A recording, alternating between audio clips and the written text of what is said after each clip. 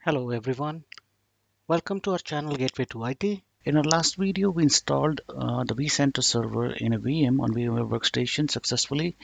In this video we will create uh, our Denver data center and add the ESXi host to the respective clusters. So let's get started. So as you know that I have the Edge browser installed and I already created my uh, shortcuts on my favorite toolbar. So I'm going to click on VCSA shortcut for to access our vSphere web page. Uh, once we click on that, we need to click on Launch vSphere Client HTML5 and we need to log on with our administrator and the vSphere local single sign-on domain and give it the password that we configured.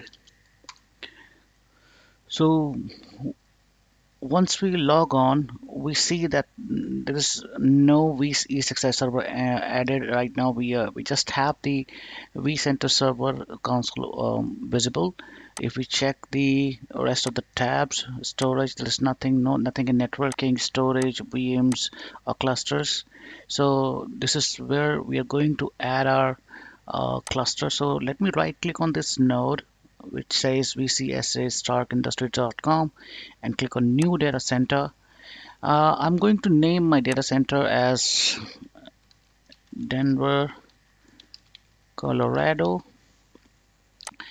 And in this data center, I'm going to create two clusters. One is for production and one is for management. So let me add a new cluster. Uh, as you can see that uh, when we click on new cluster it gives us multiple choices like vSphere DRS, vSphere HA and vSAN but uh, we're not worried about them right now.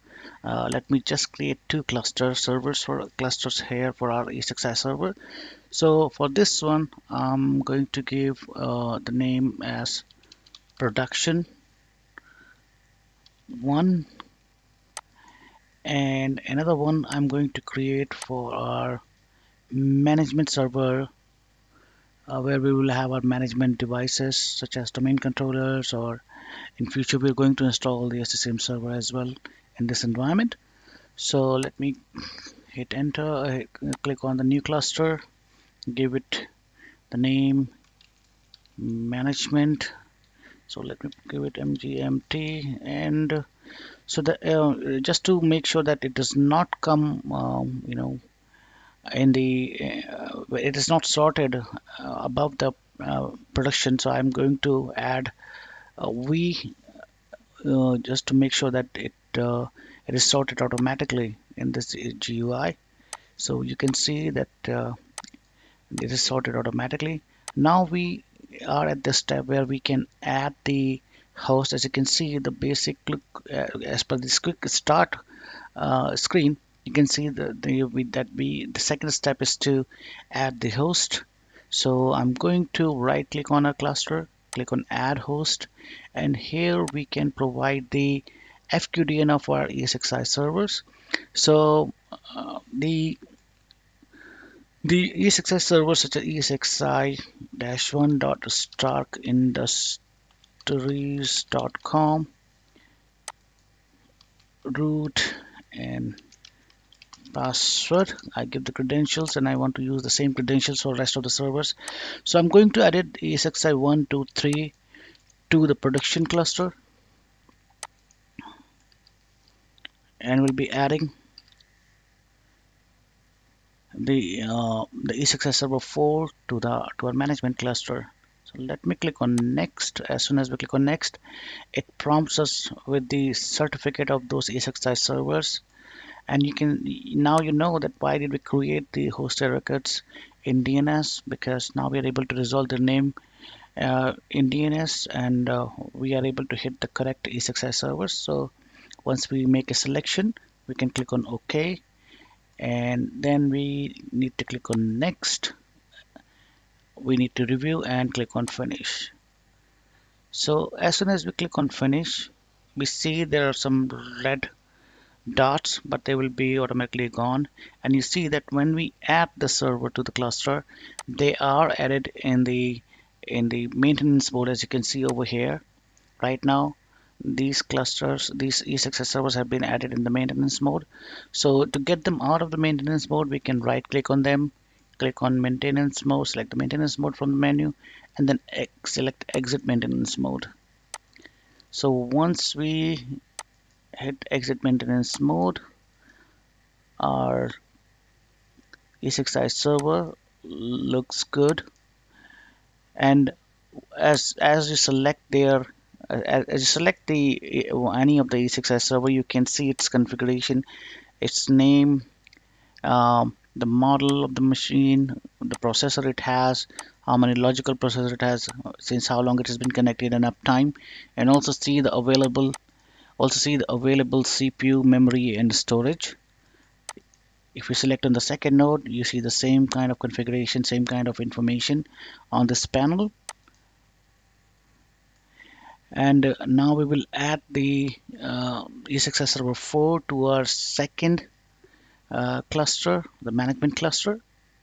So let me right click on it add host and here I'm going to provide the name ESXi-4 dot starkindustries.com let me make sure the spellings is correct.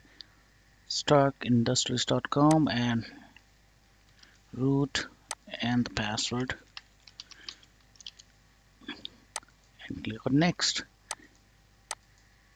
So once I click on next it will be added again in maintenance mode and we need to get it out of the maintenance mode.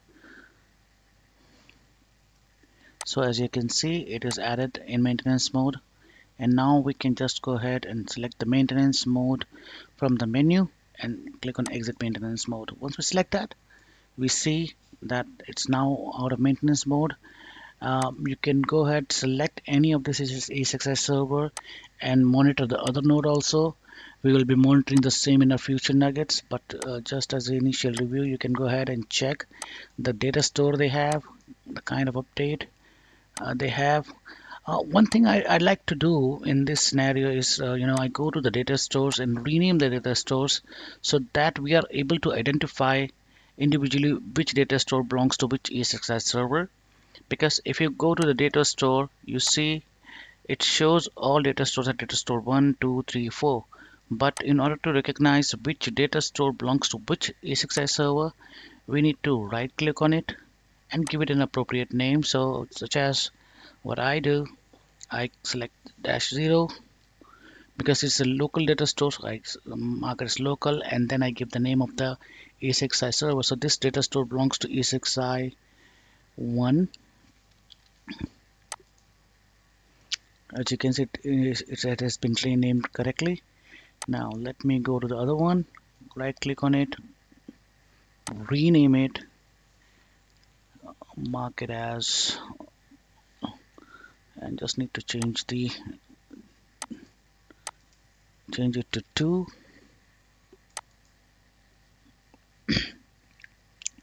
so it should be renamed. It is renamed now. Right click on it rename it?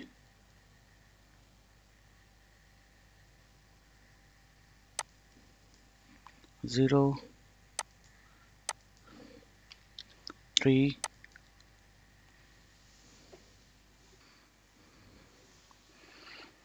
and now we're going to rename the last one